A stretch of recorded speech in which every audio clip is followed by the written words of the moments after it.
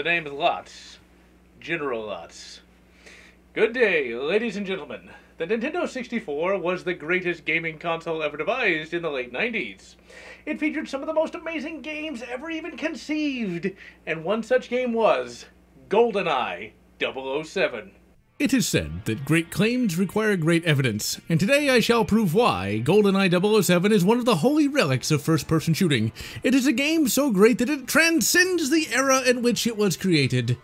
GoldenEye 007 was developed by the mighty and legendary Rare Software and published by a little known gaming company called Nintendo way back in 1997 first in Japan on 23rd August, then on 25th August in the United States and then, weirdly enough, 7th November for the UK. The very country that spawned the very concept of James Bond got the game last.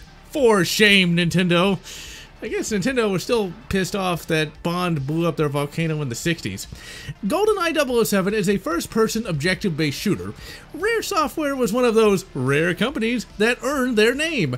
Rare Software in the 90s did not just make the same old crap as everyone else and call it a day. Instead, they were always pushing the boundaries of what was possible. The Nintendo 64 was a cartridge-based console, but was remarkably powerful when compared to other systems at the time, and Rare took great advantage of this to deliver a game that featured both complex graphics and gameplay.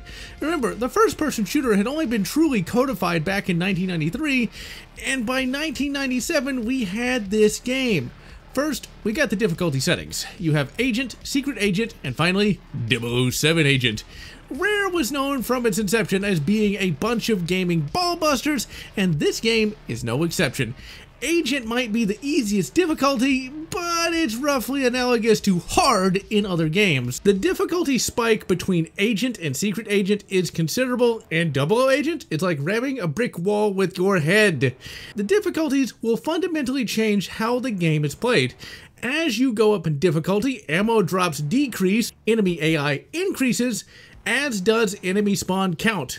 Auto turrets will start showing up in rather annoying places. The number and complexity of objectives will increase as well. GoldenEye 007 is a pretty fast-paced game, and is divided into a series of levels that can be completed in minutes, if you are good.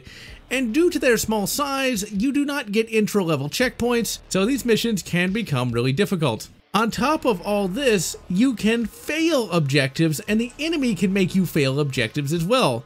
On higher difficulties, the enemy can chuck grenades. Yeah, in 97 on a console, the enemy were smart enough to show up with a sack of hand grenades. And due to this, they can destroy interactive objects and cause you to lose the mission. And you can get two seconds from the exit, only to lose because some square-shaped bastard chucked a grenade at something you needed to click. This makes the game on higher difficulties a pretty tense affair worthy of the name Bond. This game was played with the excellent N64 controller, and the N64 controller only featured featured a single analog stick. Some games got around this single analog stick by using the yellow C buttons on the right hand side as an unofficial second stick. But GoldenEye just used the one and allowed for precision aiming by mapping a crosshair to a button. This works pretty well, but has a bit of a learning curve. On Agent, the auto aim is great and makes the game pretty fast paced. But as you go up in difficulty, the auto aim gets less and less until you reach Double O Agent where it is pretty much gone entirely, meaning the game becomes a good bit slower and more methodical as you have to aim to hit the enemies that are now more numerous and more intelligent. This wouldn't be rare if they didn't add more difficulty on top of that. Now, some missions will give you a time limit, so you gotta be fast and accurate to survive. Now, hopefully, you can start to see why this is such a well-regarded game. There was that much effort put into just the bloody difficulty settings. As for the actual shooting, it's amazing. Each level will start you with a basic weapon, and most of the time it will be the classic Walther PPK, or as this game has to call it due to rights issues, the PP7 but quickly you will start to gather more powerful weapons, and since this is a game from the 90s, you can carry them all at once, but many will share ammo pools. My personal favorite weapon in the game is the PP7 itself. On sane difficulties, it can kill regular enemies pretty efficiently. Then there is the MP5, aka the Deutsch, and it's a pretty stompy weapon, and in a bonus level, you can get a laser from the epic Bond movie Moonraker, and it stomps too, and can actually go all the way through an enemy. This game features the greatest inventory system of all time. You get the Q Watch. This codified the Bond Watch as the greatest piece of technology of all time, and man, times move fast because smartwatches exist and have existed for years. See, in 97, the idea of a smartwatch that was worth a damn was literally sci-fi, so the idea of using a watch with like a TV screen in it was amazing to young General Lotz, and hell, even adult General generalots was amazed by it. Now, smartwatches can be had for 80 bucks off of AliExpress, but man, back in the 90s, it was the neatest concept ever. The watch has its own theme song, and it's used to select gadgets and check your health and armor. Health in this game is non-regenerative, but since this game features short levels, and is made by Rare, there are no health pickups in the levels. You can get ballistic vests on lower difficulties, but on Double O Agent, good luck! There is no jumping, and crouching is done automatically in a few places. The objectives on offer in GoldenEye 007 are very well designed. You have to use gadgets to complete certain objectives, such as taking pictures or using a covert modem to snoop on the enemy's hentai habits. You also have to escort and defend NPCs. Now, these guys are pretty thick, and you can lose the mission because they ran right in front of your shots. Natalia is the sexiest Bond girl ever, but really needs a crash course in not being a blundering moron. Oh, these objectives really make this game stand out, as it not only makes you feel like Bond himself, but it also gives you something else to focus on when trying to fight all the bastards. In a couple of levels, you can hop into a T-72 tank and wreck shit up, and you can thankfully blow shit up with its massive tank cannon. Ooh, gotta love that autoloader. The controls are excellent, and the missions are sadly far too brief. Playing a game like this today with modern graphics would blow people's mind with how fun the shooting and objectives were. In the 90s, this was beyond next level. Remember, all this gameplay greatness was less than 10 years after Wolfenstein 3D. If you happen to be a Ute or a Moon Man from the future, give this game a try and you will not be disappointed. Now, instead of playing it on an almost 30-year-old console, there are a few PC solutions for playing GoldenEye 007. You have the RetroArch emulator, and it emulates the game pretty well, but you have the much better emulator known as Project 1964. Not only does it clean up the game even more than RetroArch does, but it also allows you to use the keyboard and mouse. Yes, it has a mouse injector, and this enables a much easier mouse aiming option, and is my preferred way to play the game. Yes, the game is still going to be ball crushingly hard, but now it's just iron crushing instead of lead. Now, if you are on a modern console, you have a few choices. It's on Switch and Xbox One and X slash S. Lastly, if you want to play the game with a little better graphics, you have GoldenEye Remastered. Oh, rights issues strike again. In the 2010s, there was an attempt to create a remaster for the game to be released on Xbox Live. Unfortunately, due to licensing issues between Nintendo and Microsoft, this never saw the light of day, but the greatest hero in American history leaked the beta a few years ago, and now you can play the excellence of GoldenEye with modern graphics, or at least circa 2010's modern graphics. You can play this with the Xenia emulator.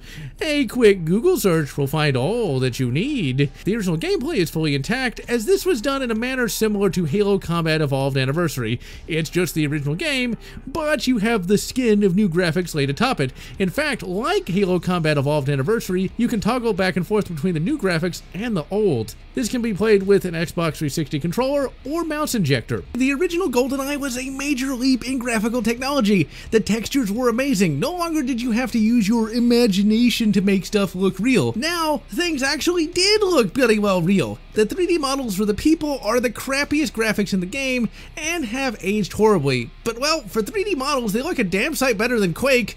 But seriously though, in the 90s, this was a graphical masterpiece and it truly felt like you were in the world of 007.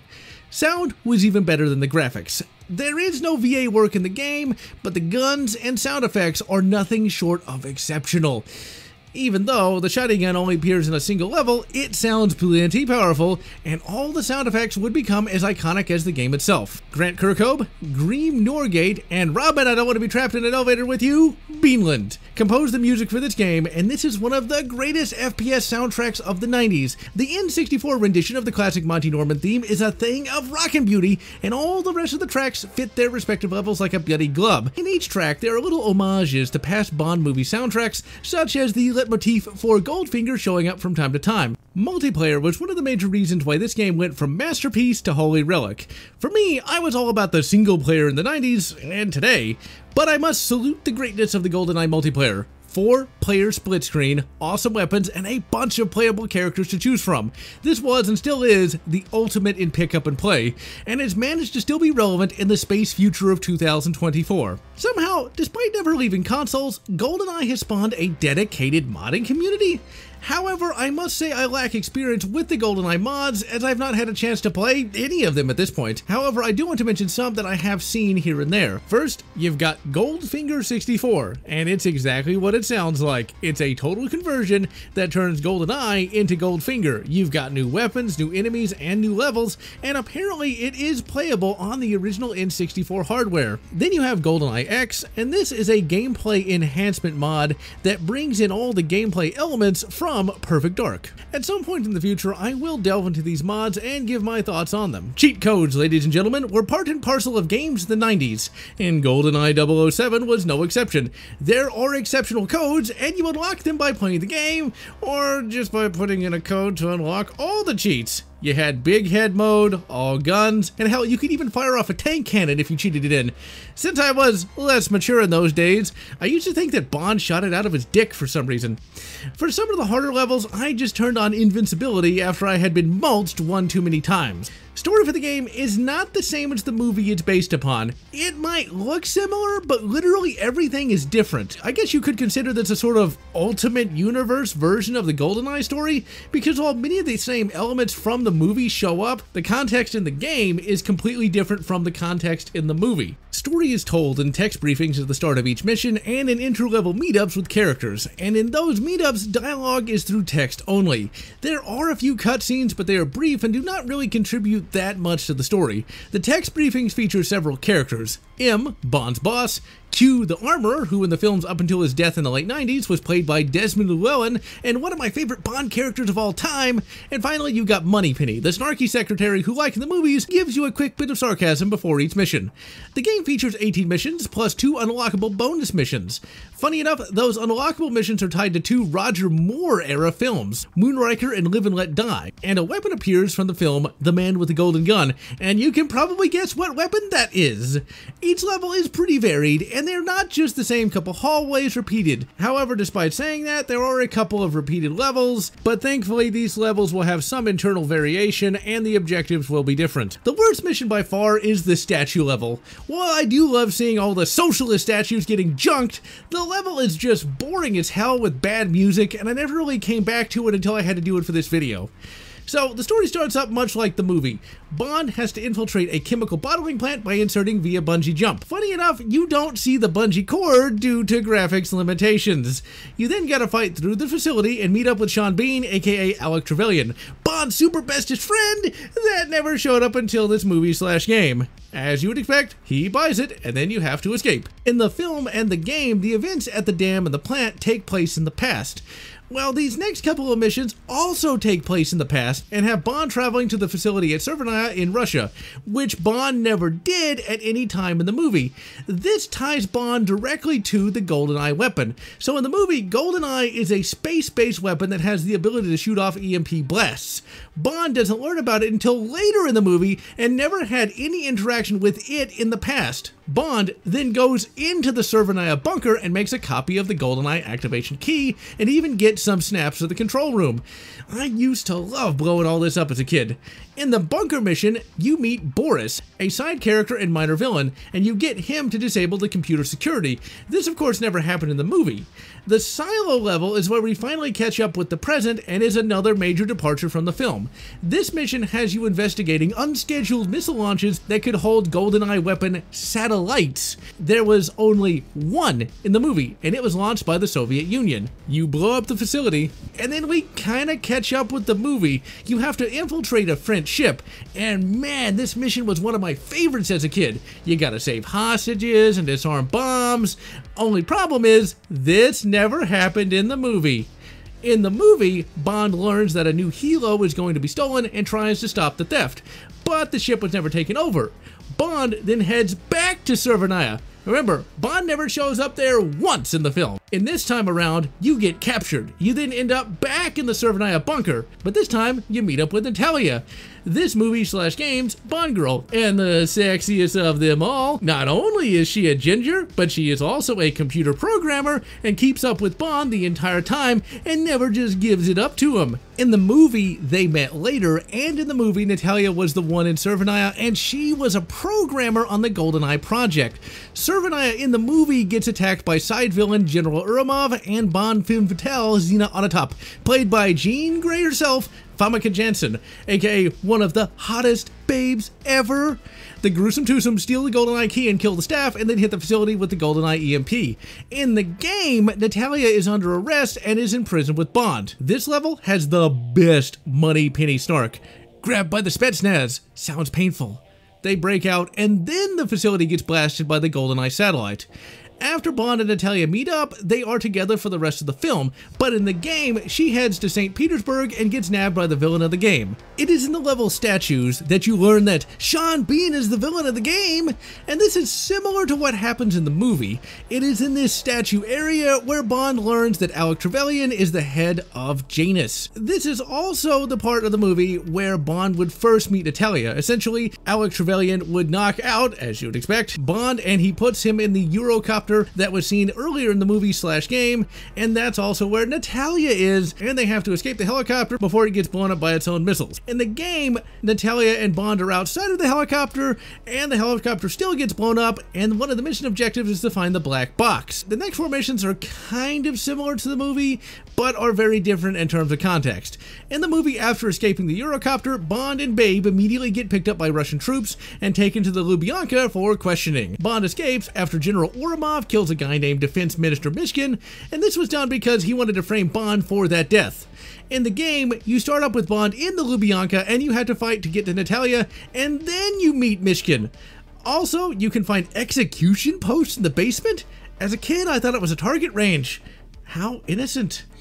Because also in those days, I was pretty innocent and thought that Bond married the girl at the end of each movie, and each successive movie was in its own new continuity. But whatever, I was a kid. Similar to the movie, Natalia gets kidnapped by General Ourumov, and you have to give chase in the T-72 tank and race around the city, blowing up everything in sight. This is the most impressive level in the game. In the movie, Natalia is taken to Trevelyan's armored train, and Bond blows up the locomotive and then boards the train to save her. In the game, you fight through a train depot and then board the train and fight through it. Like in the movie, you get trapped on the train and have to burn your way out with the watch laser. AliExpress ain't got that yet. The watch laser was not introduced in this movie or game. Instead, the watch laser was first introduced in the unofficial Bond film Never Say Never Again, which was Sean Connery's last outing as the character. The jungle mission is somewhat similar to the film. Bond learns that the Janus base is in Cuba, and he sets out with Natalia to stop them. You get shot down, but get up again, and then have a showdown with Jean Grey. In the film, she gets crushed against a tree in a really weird death, but in the game, you just blast her. The last missions of the game go off the rails yet again. You have to stop the satellite from firing by defending Natalia, but then you have to raise the satellite dish that is used to communicate with the Golden GoldenEye weapon, which didn't happen in the film because the villain did that in the first place. And finally, you take down Alec himself, and that is similar to the film, but in the movie, all Bond had to do was literally throw a spanner into the works, and Alec had no other guards to fight. In the end, Bond defeats the bastard, and the world is safe once again. There have been a few attempts at remaking GoldenEye, but they've all missed a lot of the charm of this game. You had one on the Wii and one on the Xbox 360. The Wii was pretty good, even if it did replace Brosnan with, uh, Daniel Craig, and it played pretty well with the Wii motion controls. The 361 was a COD clone with all that entails. GoldenEye 007 was my first ever encounter with the character of James Bond. Upon playing the game, I was hooked, and the first James Bond movie I would see would be GoldenEye, and it's my favorite James Bond film of all time, and that's not just due to nostalgia. I feel that this film was the best due to the pacing, the story, the music, and the casting of Brosnan. He was more approachable than other actors, and felt more like a true hero. Pierce Brosnan brought a level of class that was second to none, and in 2024 is my favorite Bond, even if this is the only Brosnan Bond movie that I actually like. After watching GoldenEye, I would see Dr. No, and I was blown away by Sean Connery as a kid, as he was the prince of cool and second only to Han the Man Solo. As a kid, I loved all his movies and watched them on TV back to back when they would show up as reruns. As an adult, I find most of Connery's films to be a bit dull, and I find Thunderball to be the worst he ever did, as it not only looks a bit crap, the underwater segments put me to sleep. Later, I would watch some Roger Moore films, and I felt that they were alright, but really fell in love with Moonraker as it put Bond in a sci fi setting and allowed him to start blasting bastards with a 40 gigawatt laser, and is my second favorite Bond film after GoldenEye. It's thanks to this game that I was such a huge fan of James Bond that for my very last Halloween, I cosplayed as the Sean Connery version of 007. I had my hat, and me and my grandfather made a wooden mock up of a Beretta Tomcat. Well, at a trick or treating event, someone came up and asked me, Are you supposed to be a businessman? And I responded with, No, I'm Bond. James Bond. Growing up, my family was awesome, and they never resorted to anything as base as corporal punishment. Oh no, they were much too intelligent for that. You see, one day a young General Lotz was, shall we say, mischievous, and I was grounded for my misdeeds. I was not grounded from the entire N64 library. Oh no, they knew which game to ground me from. I credit my grounding from being able to play GoldenEye 007 with my spotless record that has extended all the way to age 35. So don't you be naughty, ladies and gentlemen, and if it's been 20 years since you've played GoldenEye 007, it's time to download the Project 1964 emulator and get to playing.